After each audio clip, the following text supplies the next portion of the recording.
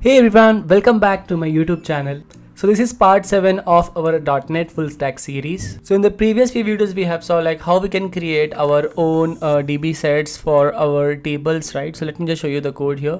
So we have created this DB context file and we have already uh, initialized that all our DB sets. So now in this video our goal is to establish a connection between your ORM and DB and the in the database.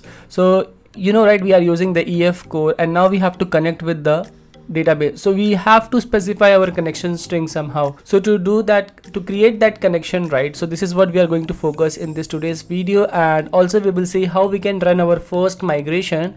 And also after running the migration we will verify all the columns which all the columns and tables which are created inside the database. Okay so to establish the connection right we have to create the db context. So the file is created but i will not be establishing the connection in this file itself. So what i'll do right i will create a new file whose name will be db blog db context factory. Okay so i will create a factory class inside this context. So to create the class click this select class from here and give the name okay and just hit enter. And now this class will get created. Uh, what you need to do here right you have to inherit like you have to implement the interface name as design time db context factory. Okay and this is how it looks like. And let me go ahead and uh, do all the missing imports. Okay and let me do this as well.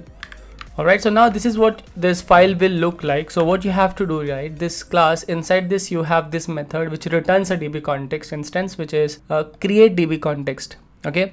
And what you will be doing right? You will take your db db context option builder and this will make use of the sql server. Okay so you as you are using sql server right so that's what you get this option and you have to specify your connection string over here. Okay so to get the connection string you have you can go into your db and you can get it quite easily and if you're not able to find it you can just do a google and you will be able to find the connection string for your database. Okay so for me i'm using azure data studio so i already have it ready with me. So this is how the co connection string looks like for me. So i have a localhost server. My database name i have to specify which is angular blog ytdb and then this is just my username and password for that particular local database what i have configured. Okay? So that's how this file looks like. And now the moment you do this right you just have to save all the changes. And now now we are ready to run our first migration command because I think the connection will be here established and I see already we have did all the configuration for all the tables. And also in the db context factory we have already applied all our configuration okay? So now let's go ahead and run our first migration command. So if you're using vs code like me right then you just have to go inside the infrastructure folder okay? So go into the infrastructure folder and then you have to run the command .NET add and all that. So I'll, I'll tell you about those commands but for the people who are using visual studio so you you must be using package manager console. So for that you just have to go on google and just search for it right? So let me just show you what you need to do so we can say add migration commands okay .NET and EF core whatever you can search for okay? ASP.NET core. So here you can get the migration commands and everything over here okay? So can you see right this is what you get for the the CLI way and this is what you get for the Visual Studio okay? So make sure you're following this command to run your first migration okay? So for me this is what the command they give. So .NET EF migration. So I can just go here and say .NET EF migrations add and then that's what you have to do. So you have to make sure right? So if you see my command i say .NET ef migrations add and you have to give the name of your migration. So for me right i'll have to give a name. This is my initial or i can say db setup. Okay db setup.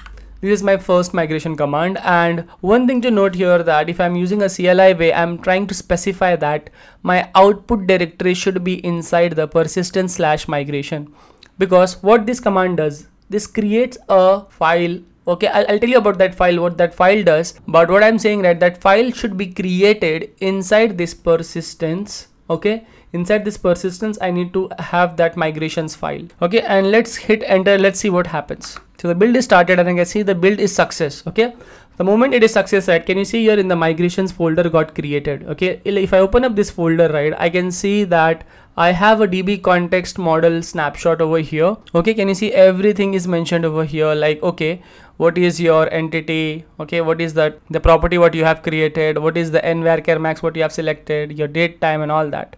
so you can see all your table got created inside this so this captures all the snapshot like whatever you have mentioned but if you see if you go inside this one this file like 2024 and all that the file this is a unique one huh, which takes on the current time. So can you see the, you have your class name db setup and trust me guys you don't have to touch this file anyway. This is just the migration command what ef core will be writing up into your database. Can you see it is helping me to create the table. Table name is role and this role table has id and this has a name and varchar of 50 whatever you have given in the configuration right everything got created it also creates the constraint for you that okay this is my primary key which is id of this particular role table. And you can just go ahead and verify everything for your particular command. And then if you are okay like okay everything is perfectly fine what i wanted then what you can do right? You have to run the last command which is the database update.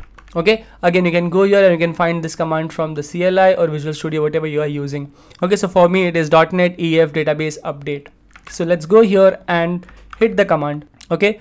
If anything is wrong with the connection string or something is bad then this command can fail okay? So let's see if everything is okay for us and let me hit enter okay? So the build has started. Now let's see what happens. Can you see everything was success? And I can see applying the migration this blah blah blah blah and this is done okay? So if this is done right let's now we have to verify the changes if everything is okay or not. So what I'll do right I'll make use of my database studio which is Azure Data Studio and I'll just try to verify that the table got created or not. Okay? So in this let me do the connection here with the localhost. Okay in the database let me open up. Can you see? I have a angular blog ytdb created. Okay? And if you go inside this right you will see all your tables got created like blog comments role user roles and users.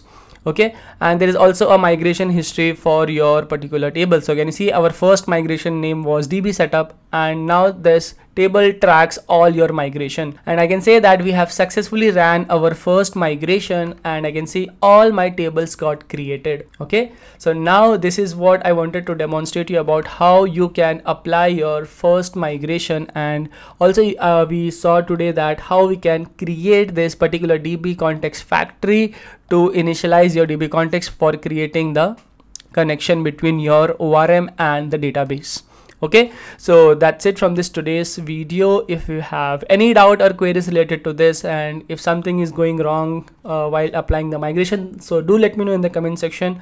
I will be there to help you guys. So that once we do the next part because next part we are going to see about creating our repositories. Okay? So we will be using generic repository pattern okay with unit of work. And I'll try to demonstrate that how we can do that. But before reaching there you have to make sure that everything is up and running till part 7 of this video. I hope my contents are helping you to understand about the .NET and how this EF core things works in a .NET project. Alright, so if you find this content helpful then do share it with your friends and uh, make sure to su subscribe to this channel and if you want to support me then you can head over to this website buy me a coffee and to the to my profile shashikumar.y and you can support me from here by becoming my member or you can buy this particular .NET with clean architecture project what I will be building in this series.